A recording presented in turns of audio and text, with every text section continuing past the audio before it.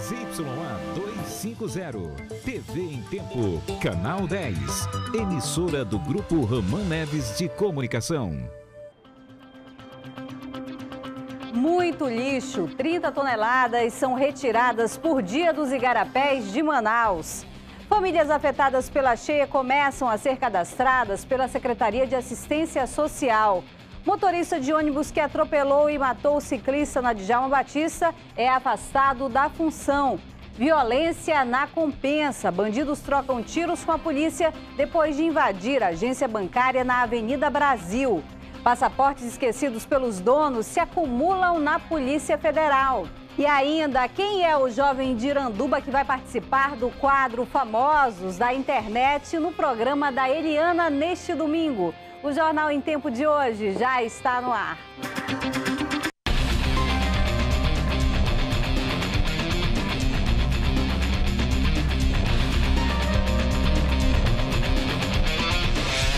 Olá para você que acompanha o Jornal em Tempo pela internet. A cheia do Rio Negro revela um cenário de sujeira nos igarapés da capital. Muitos bairros estão cheios de lixo. 30 toneladas em média são retiradas todos os dias. É em meio à sujeira que muita gente tem vivido por aqui. O lixo acumulado é um problema nessa época de cheia. Quando as chuvas caem, elas acabam espalhando o lixo, só que nem sempre o destino é correto e na maioria das vezes ele vai parar nos igarapés e quando acumula, acaba transbordando e inundando as casas. Tem de tudo: utensílios domésticos misturados com lixo. Na casa do seu Antônio moram oito pessoas e o lixo já invadiu a cozinha e o banheiro. Tanto, tanto é o lixo como que, que tá, subindo para cima, como o banzeiro de motor que vem de lá, né? Você entra para dentro acaba vai esculhambando tudo. E sem cozinha a dificuldade aumenta, o jeito é improvisar. Aí eu fico pedindo vasilha de um e de outro para poder fazer minha comidinha, me, me alimentar, né? O mau cheiro incomoda e o risco de contrair doenças preocupa. A casa da Valdenice já foi tomada pela água e pelo lixo e pode desabar. O móvel que tem aí é só o restante que está aí dentro dela né? Aí eu corri para casa do meu pai, porque, olha, ia acontecer na minha casa. Eu nem ia ficar aí dentro, o riscado ia desabar, né? Este ano, a quantidade de lixo recolhida dos igarapés já é 44% maior do que o que foi retirado no ano passado. E isso é um dado negativo, sinal de que estamos jogando mais lixo nas ruas, está chegando mais lixo nos igarapés com as chuvas, e isso traz, não é, é consequências indesejáveis, como entupimentos, a questão da poluição visual e também de focos de proliferação de vetores. Nos primeiros meses deste ano, a Secretaria de Limpeza gastou 970 mil reais por mês. São retiradas cerca de 30 toneladas de lixo por dia. São Raimundo e Educando são os bairros mais atingidos.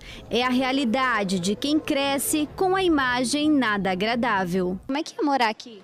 É muito ruim. Por quê? Porque minha casa já caiu. Cheia de lixo ainda. E as famílias afetadas pela cheia do Rio Negro começam a ser cadastradas em Manaus. Algumas vão receber o aluguel social. Hoje o trabalho foi realizado na zona oeste.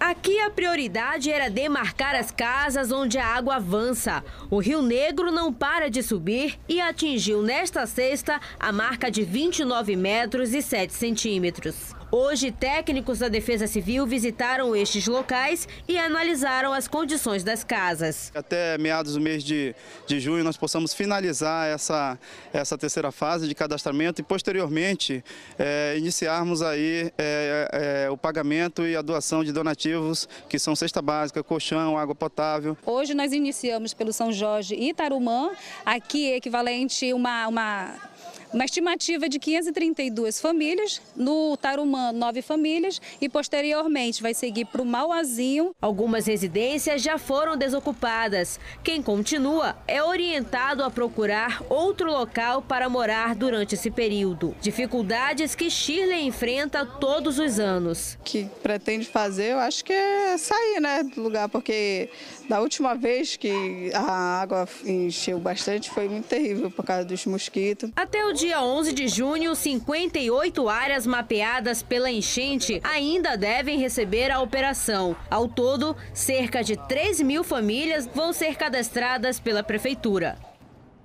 Delegados do interior discutiram hoje aqui em Manaus como melhorar a segurança nos municípios e desafogar as delegacias.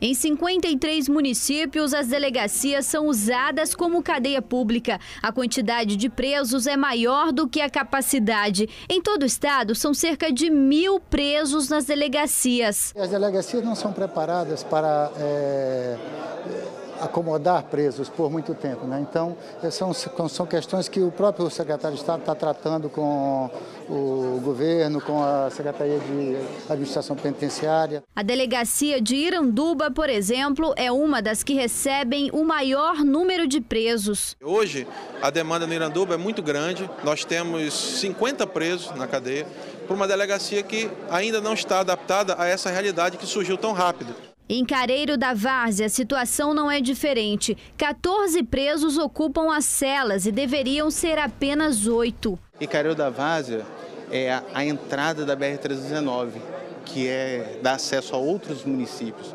Então, Careiro da Várzea precisa ser fortalecido na sua segurança. O problema da superlotação das delegacias preocupa as autoridades de segurança. Nós estamos no comando da polícia há apenas quatro meses e somos sensíveis a isso, o governador é sensível a isso, o secretário é sensível a isso, e nós estamos buscando, né, buscando é, é, soluções. Nessa reunião realizada hoje na Secretaria de Segurança Pública, algumas soluções começaram a ser planejadas. 30 representantes de municípios do interior participaram. Já há uma busca por captação de recursos para colocar pelo menos em cada calha de rio, um grande presídio para que possa é, é, é, dar esse tratamento ao preso do interior do Estado. O Amazonas tem 62 delegacias, uma em cada município. E essa foi a primeira etapa da discussão para reduzir a criminalidade. Os delegados que não participaram dessa vez devem se reunir na segunda fase, que ainda não tem data confirmada. Daqui a pouco, passaportes esquecidos pelos donos se acumulam na Polícia Federal. E mais, motorista de ônibus que atropelou e matou o ciclista é afastado da função. Nós voltamos já.